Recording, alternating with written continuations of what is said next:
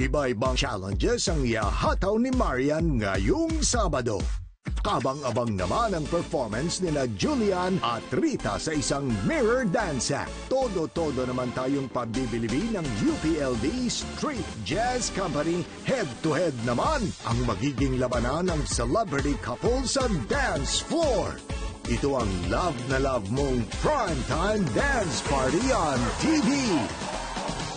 Marian